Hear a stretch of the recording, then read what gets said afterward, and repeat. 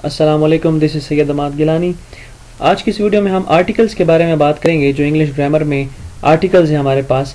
Articles क्या होते हैं, इनके कितने टाइप्स हैं और कहाँ कहाँ पे आर्टिकल यूज़ होता है, इसमें हम इसको देखेंगे। Articles are use before nouns and are a type of adjective article जो है, वो नाउन से पहले इस्तेमाल होते हैं और एक तरह से एजेक्टिव का काम करते हैं।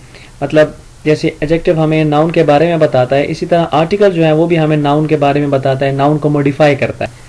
आर्टिकल्स की दो टाइप्स हैं। एक को डेफिनेट आर्टिकल कहा जाता है, एक को इनडेफिनेट आर्टिकल कहा जाता है। डेफिनेट आर्टिकल में हमारे पास द है, या इसको दी भी कहा जाता है। और इनडेफिनेट आर्टिकल में ए और एन आता है हमारे पास। इन दोनों को हम वन बाय वन करके देखें सबसे पहले हम इनडेफिनेट आर्टिकल की बात करते हैं, जो कि ए और एन है। इसमें से सबसे पहले हम ए को देखते हैं, कि जो ए है A is use with singular countable nouns which are not specific A जो है वो सिंगुलर काउंटेबल नाउन के साथ यूज़ होता है जो कि स्पेसिफिक ना हो, जो कि प्रॉपर ना हो। कोई आम सा नाउन हो और सिंगुलर हो और काउंटेबल हो, उसको हम काउंट कर सकें। ए जो है, वो स्पेसिफिक और प्लूरल नाउन के साथ यूज़ नहीं होता। A is not use before specific and plural nouns अगर नाउन स्टार्ट हो रहा है कॉन्सोनेंट साउंड से, जैसे कि B C D F etcetera तो वहाँ पे हम ए लगाते हैं। For example a cat a ball a table अब इसमें अ कैट जो है, कोई भी कैट हो सकती है और ये काउंटेबल भी है और ये स्पेसिफिक भी नहीं है। अब बॉल बॉल कोई भी हो सकता है। काउंटेबल भी है और स्पेसिफिक भी नहीं है। टेबल भी कोई हो सकती है काउंटेबल भी है और स्पेसिफिक भी नहीं है। और यहाँ पे ये तीनों जो हैं कैट बॉल और टेबल ये कॉन्सनेंट साउंड्स दे रहे हैं क्योंकि कॉन्सनेंट से शुरू हो रहा है। ये सी जो है वो कॉन्सनेंट है बी भी कॉन्सोनेंट है टी भी कॉन्सोनेंट है। तो ए जो है वो यहाँ पे यूज़ होता है। अब इसमें एन कहाँ यूज़ होता है? An is use with singular countable nouns which are not specific an जो है वो भी सिंगल और काउंटेबल नाउन के साथ यूज़ होता है जो कि स्पेसिफिक नहीं होते, इसमें ये ए के साथ मिलता जुलता है। एन जो है, वो यूज़ नहीं होता अनकाउंटेबल और प्लूरल नाउन के साथ, यहाँ पर भी ये ए से मिलता जुलता है।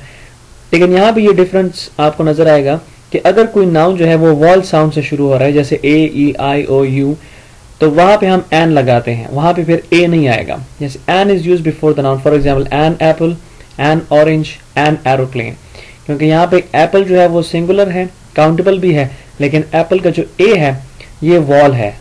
वॉल साउंड हमें दे रहा है कॉन्सोनेंट नहीं दे रहा। अगर यहाँ पे कॉन्सोनेंट होता, ये कोई कैट होता या बॉल होता तो फिर हम अ लगाते। वॉल्स के साथ एन यूज़ होता है सिंगुलर काउंटेबल के साथ। डेफिनेट आर्टिकल यहाँ पे डेफिनेट आर्टिकल हमारे पास द है, इसको दी भी कहते हैं। द दी में क्या डिफरेंस है, वो मैंने आपको एक और वीडियो में बताया था। द जो है, वो कहाँ यूज़ होता है किसी भी स्पेसिफिक नाउन के साथ या यूनिक नाउन के साथ। चाहे वो नाउन सिंगुलर हो या प्लूरल हो, इससे फ़र्क नहीं पड़ता। ये इंडिकेट करता है कि नाउन स्पेसिफिक है। स्पीकर यही बताता है कि नाउन स्पेसिफिक है। जैसे कि the cat is under the chair the dog attacked and run away यहाँ पे जो कैट है, वो कोई आम कैट नहीं है। वो उस कैट की बात हो रही है जो कि इस वक्त कुर्सी के नीचे है। ये स्पेसिफिक कैट इसलिए क्योंकि एक टारगेटेड कैट की तरफ़ इशारा किया जा रहा है। यहाँ पे the dog attacked and run away ये उस डॉग की तरफ़ इशारा किया जा रहा है जिसने हमला किया और फिर भाग गया। हर डॉग की तरफ़ इशारा नहीं हो रहा। अब यहाँ पे द कैट और द डॉग दोनों जो है सिंगुलर नाउन है, दोनों काउंटेबल है। यहाँ पे अगर ए हम लगाते हैं इसके साथ जो इन डेफिनेट आर्टिकल है, वो यहाँ पे ए इसलिए नहीं लगेगा क्योंकि है तो काउंटेबल है सिंगुलर भी है, लेकिन स्पेसिफिक है यहाँ पे। ये कॉमन नहीं है। अब ये जो डेफिनेट आर्टिकल है, वो और कहाँ यूज़ होता है? ये यूज़ होता है इन्वेंशन के साथ। सुपरलेटिव्स के साथ यूनिक ऑब्जेक्ट्स के साथ ग्रुप ऑफ़ पीपल के साथ सीज एंड ओशंस के साथ माउंटेन रेंजेस के साथ. अब माउंटेन रेंजेस ये सारी जो हैं, एक एक करके मैंने नीचे एग्ज़ाम्पल बनाई हुई है. इन्वेंशन को देखते हैं. What is the popular song on the radio now अब रेडियो जो है इन्वेंशन है, इसके साथ द लगाया हमने. He is the tallest boy in the class superlativity यहाँ पे टॉलेस्ट तो टॉलेस्ट के साथ हमने द सुपरलेटिव से पहले हमेशा द आएगा. The world is getting warm day by day unique object world क्योंकि वर्ल्ड पूरे यूनिवर्स में एक ही है, इसलिए यूनिक है, इसलिए हमने वर्ल्ड के साथ द लगाया। इसी तरह द सन भी है द मून भी है। अच्छा फिर ग्रुप ऑफ़ पीपल के लिए यहाँ पे आया the rich people do not care about the poor the rich people अब ये ग्रुप ऑफ़ पीपल है, इसके लिए हमने द लगाया। Have you ever heard about the Black Sea मैंने आपसे कहा सीज और ओशन के लिए भी आता है। तो जब भी समंदर का नाम लेंगे या ओशन का नाम लेंगे तो उसके साथ द लगाएँगे। द ब्लैक सी हमारा इंडस है तो द रिवर इंडस इस तरह आएगा।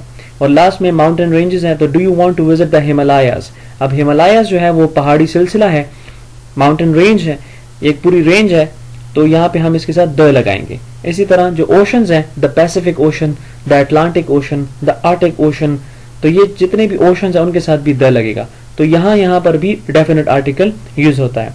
This was all about the articles definite and indefinite I hope you have got it thank you very much